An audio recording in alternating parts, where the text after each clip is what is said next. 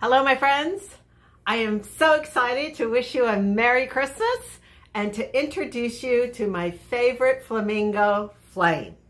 Now, Flame flies in for the holidays ever, every Christmas from the North Pole. And the reason why he's so special is number one, because he's so cute. But number two, he is my mental trigger to stay in joy this Christmas season because all of us can have some ups and downs around our family or friends, or if you have an Uncle Bobo head or you know whoever. But just like in golf, when the threat of being down or depressed or just negative or grumpy comes upon you, you need some kind of trigger to keep you in your ideal performance state. And joy is the highest emotional vibration that there is. When you are in joy, your positive emotion can't get any higher.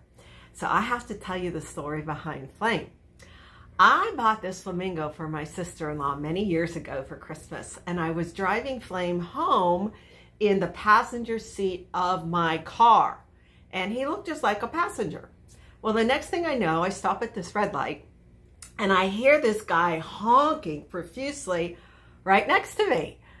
So I turn and I look at him and he's going like this, pointing at flame. And I was feeling kind of down at the time. And I thought, oh my gosh, I had this flamingo and all he was doing was sitting here and producing joy. Next thing I know, I stop at Whole Foods. I pull into the parking lot and there was this lady with her little boy and uh, all of a sudden they see Flame and they smile and they're like, so I decided to take this one step further. And I said, I wonder what would happen if I actually took Flame inside the store. So I took the flamingo, I stuck him in my shopping cart and I started just shopping as if you know, there was no big deal. And then all of a sudden, all these ladies started coming up to me and saying, I love your flamingo. I want one like it. Where did you get it? And I was like, would you like to take a picture with Flame? And they were like, oh, yes. And this happened so much that I started posting Flame to Facebook. And then I started doing videos with Flame. And he started making yearly appearances because he just loved coming back and getting all the attention. And through that time, I realized that I could be a joy producer. The nature of joy is that it's spontaneous, it's relational, it's something that is the fruit of connecting with someone spirit to spirit. And it happens in the moment.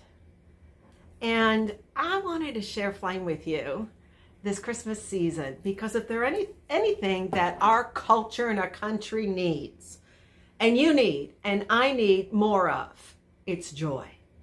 And I know you're going to wrap those presents and buy those presents, but why not give the gift of joy to produce joy this Christmas season. And I want to share with you three heart postures to be a joy producer. The first one is to be open, to have an open heart. That means that I'm not going to be closed to everybody else's reality around me but my own. Did you ever, did you ever meet people like all they were into was themselves? A joy producer is always open to being a blessing to someone else. So you got to be open. Number two, you have to be present. If I'm coming across somebody and I'm open, I also want to be focused on them. I want to be focused on what's right before me versus what I'm thinking about the rest of the day or what I've been thinking about the day before, but to be present. You know, to be a good golfer, you have to be present to your shot. You can't be thinking about score or the next shot. You have to be all in this shot. Are you all in this shot of Christmas? Open, present, and number three, willing to speak.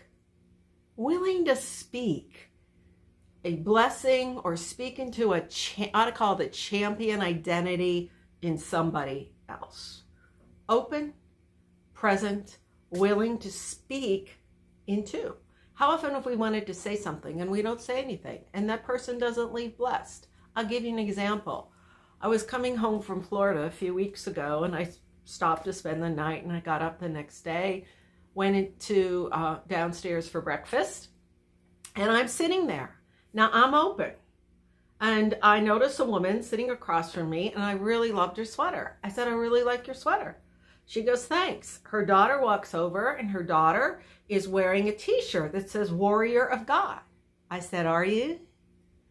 And we got to talking, realized she was in the eighth grade and she was a wrestler. And so before you knew it, we were in a conversation. And before she left, I said, listen, let me tell you something.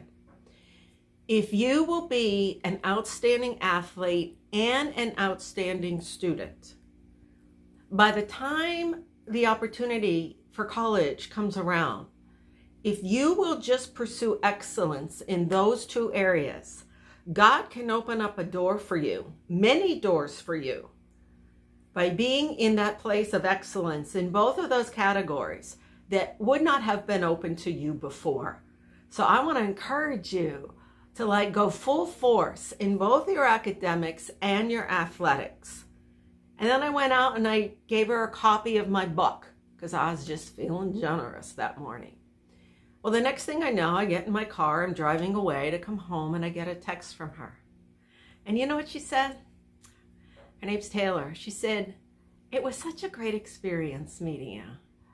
She said, You didn't know this, but I was thinking about quitting wrestling because my coach is such a Uncle Bobo head. He said, But meeting you has changed that. And then she started texting me and asking me to pray for her before each one of her matches. And I thought, isn't that something? It was such a simple thing to be open, to be, I call it open, present, and willing to speak into another person's life. I was at a driving range in Myrtle Beach hitting some balls recently and started talking to the guy behind me and found out he was from Raleigh, an hour away from where I live, and knew one of my students. And we got to talking and realized that we had so much in common. And he was uh, transitioning from being a aspiring golf pro to pursuing his MBA, to pursuing business, going back to school. And as we were walking out to the parking lot together, I said, Can I pray for you? I said, I, I know what it's like to make a transition. He said, Sure. I got through praying for him. And you know what he said to me? He said, You have no idea how much that just meant to me. I really needed that. It was such a simple thing to do. Just to be open, present, and willing to speak life into somebody. Just the other day, I was coming from an exercise class, and it was one of those stretching classes where the woman comes around and, you know, she presses you and helps you to go deeper into the stretch. And she had what I would call a ministry of comfort because when she went to, you know, press on my muscles, I, my body literally felt comforted. And afterwards, I went up to her and I said, Thank you so much for this class. I just really feel like you have a wonderful ministry of comfort. And I said, that's a, that's a special gift. And she looked at me and she said, you have no idea how much that meant to me. And you see, the bottom line is we all want to be valued. We all want to be seen.